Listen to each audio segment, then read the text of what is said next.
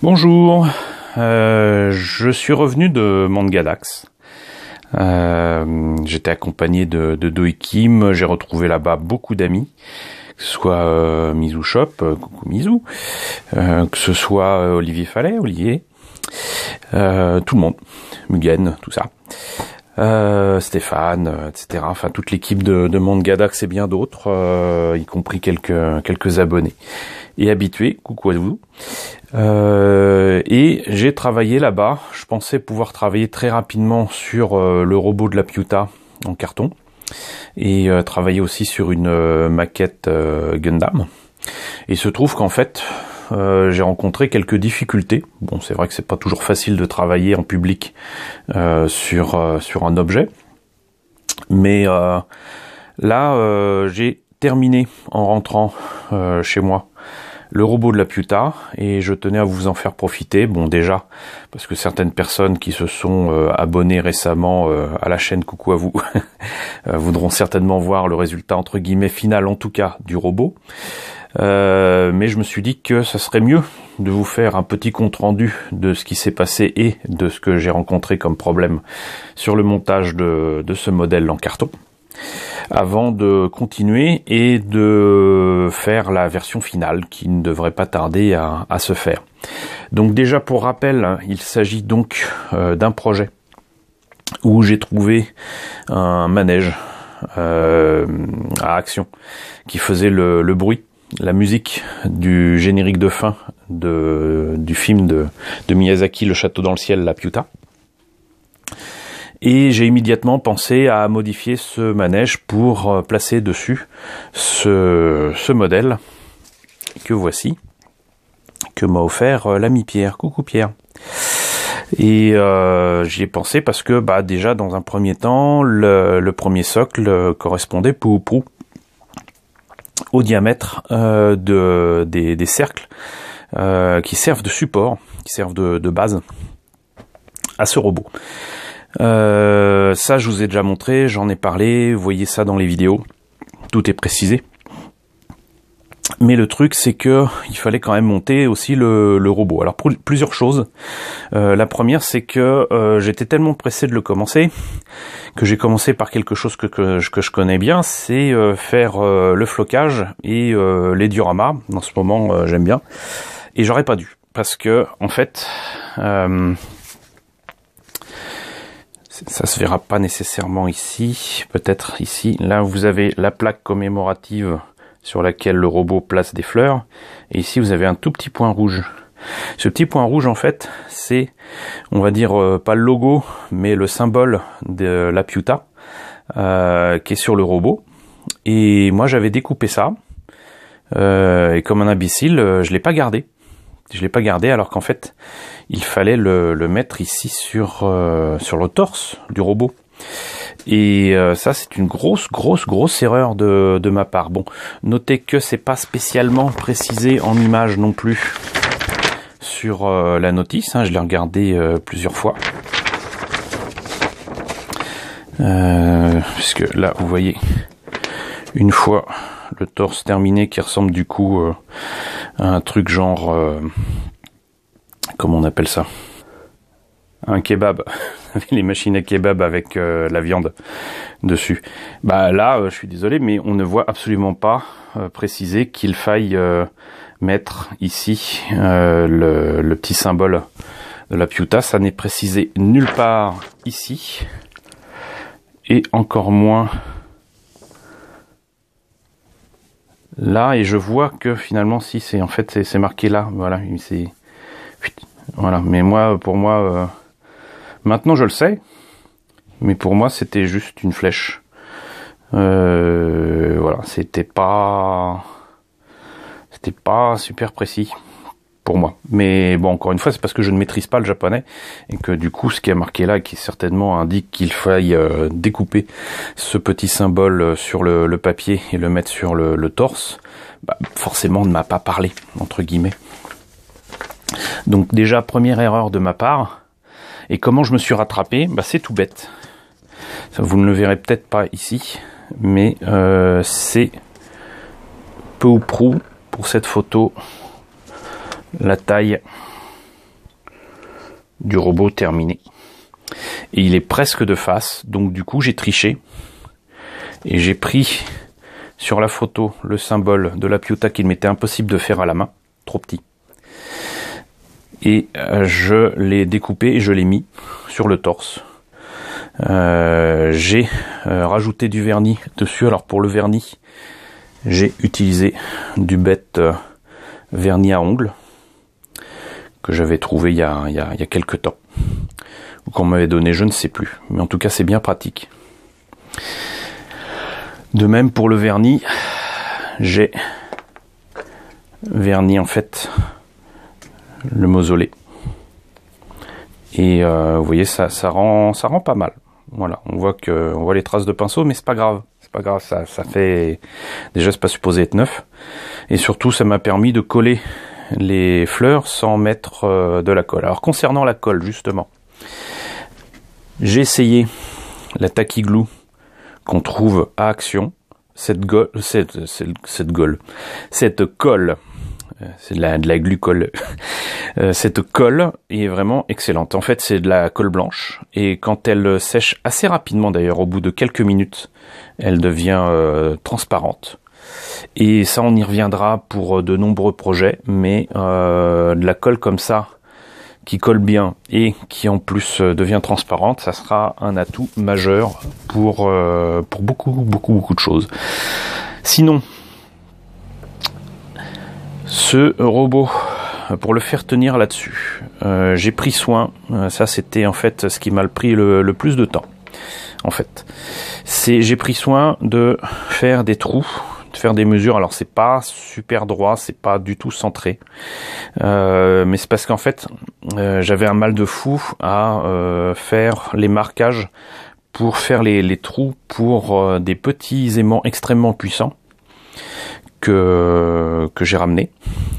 Et le truc, c'était que je ne voulais pas que ça s'arrache, vu que c'est très puissant, de l'endroit où je l'aurais éventuellement collé. Donc en fait, j'ai fait des trous. Ça se voit pas d'ailleurs là. J'ai fait des trous dans le socle. J'ai placé les aimants dedans. J'ai refait des trous dans les cartons pour que ça soit plat.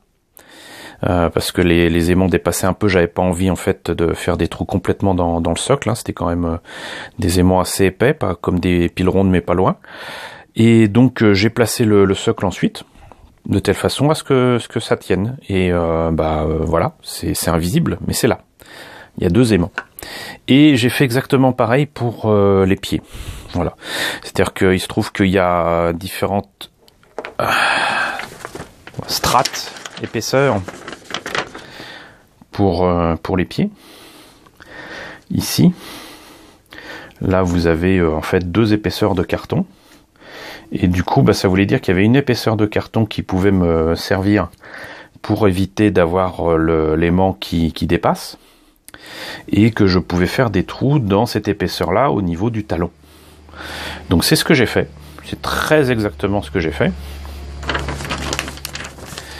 Et ça s'est beaucoup mieux passé que je ne pensais. Ça a d'ailleurs été en fait euh, le comment dirais-je l'apothéose pour moi de, la, grande satisfaction de, ce week-end, c'était ça, c'était que ces, aimants fonctionnent. Bon, ils sont pas aussi puissants du coup vu l'épaisseur qu'il y a entre euh, euh l'aimant qu'il y a dans le socle et les aimants qu'il y a dans le pied, mais euh, voilà, ça tient. Voilà, c'est pas ça, ça, ça, ça, ne soulève pas le, le, socle, vous voyez, mais ça, ça fonctionne et surtout ça, ça tient. Voilà. Donc, sinon, que vous dire de plus sur ce modèle? Alors déjà, encore une fois, le fait de ne pas connaître le japonais ne m'a pas aidé du tout. Euh, parce qu'en fait, euh, bon, bien évidemment, vous l'aurez compris avec les autres vidéos, il s'agit en fait de découper les, les, pièces, mais pas de les découper comme ça. C'est impossible de, de, le faire euh, comme ça, en tout cas aussi proprement. Il y en a qui pourraient le faire, mais euh, faut des outils particuliers. C'est découpé au laser. En fait, il y a une toute petite partie, deux petites parties, euh, qui sont pas découpées et qu'il faut euh, couper avec une lame. Donc euh, c'est ce que j'ai fait.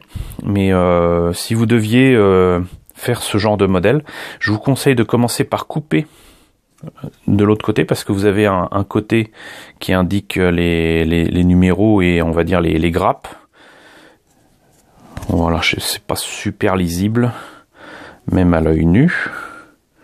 Mais voilà, vous avez donc euh, cette planche de carton qui est marquée, et donc commencez de l'autre côté.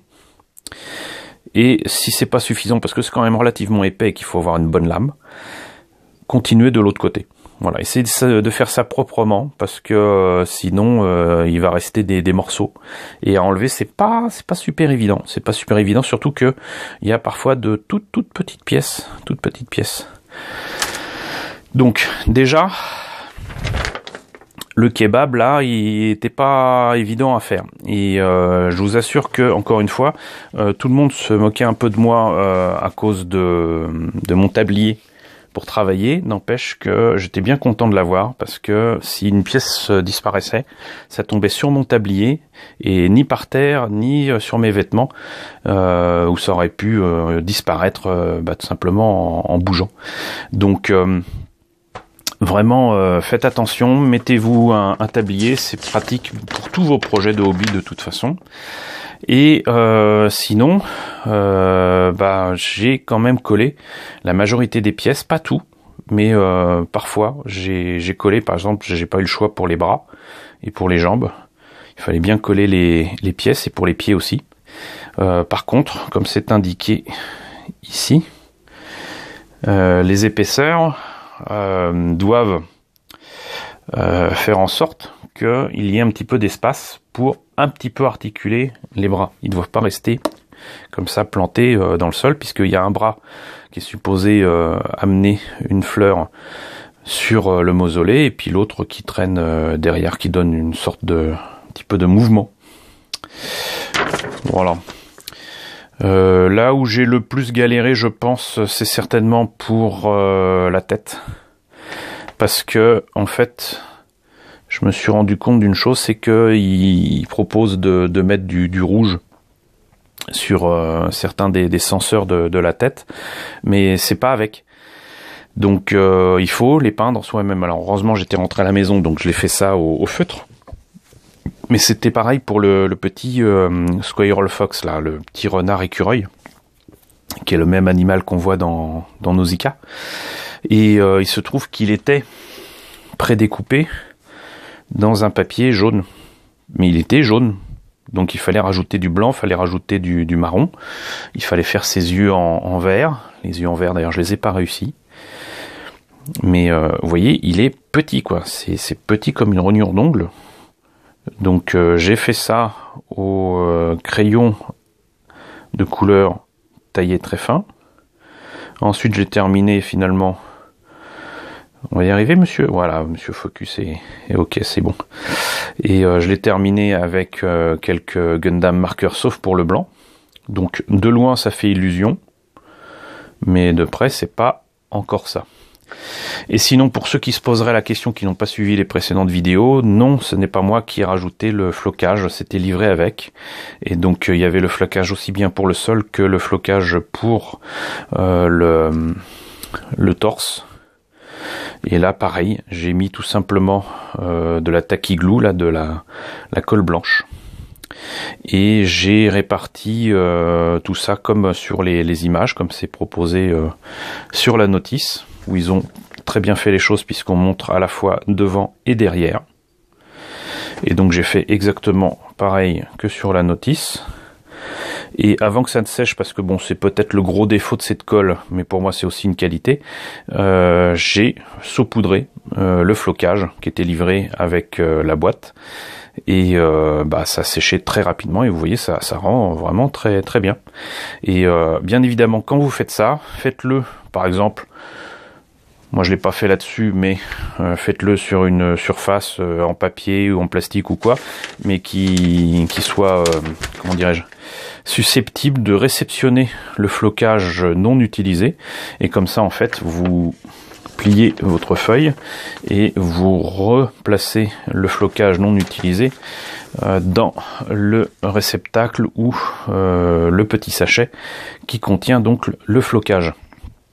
Et comme ça, vous aurez du, flocage euh, à nouveau, si vous en aviez encore besoin, et ça rendra vraiment très bien. Donc voilà pour euh, ce robot. Je suis en train de travailler en ce moment sur les chutes de grappes là. Je sais pas des grappes, mais bon, sur ce qui reste des pièces euh, découpées. Et euh, je fais différents essais pour essayer de faire. Alors au départ c'était pour faire des racines. Pour le coup ça ressemble plutôt à des lianes, mais bon il se trouve que euh, dans la piuta il y a à la fois des lianes, des racines, des branches. Et ça sera l'occasion pour une prochaine fois de parler de ce genre d'outils. là c'est une double lame. Voilà. Et ça, c'est une lame circulaire qui est surtout utilisée en scrapbooking. Je crois que je vous en ai déjà parlé. Et euh, j'ai utilisé ça pour, euh, pour ça. Et sinon, euh, l'autre, comment dirais-je, finalisation du projet, c'est d'utiliser finalement non pas du carton, mais une espèce de mousse que j'ai trouvé à Nose qui ressemble à la, la matière qu'on a sur les, euh, sur les tapis de sol quand vous faites de la gymnastique ou du sport ou quoi. C'est à peu près la, la même chose, en plus fin. Euh, c'est aussi la même chose qu'on a, je crois, euh, pour le camping. Hein. Ça doit en être très très proche. Mais en tout cas, j'ai trouvé ça une grande planche taille A2 à Nose à 30 centimes. Voilà, et je suis bien content de l'avoir pris. Au départ, c'était pour envelopper et protéger des maquettes pour le transport. Mais finalement, je vais le prendre pour faire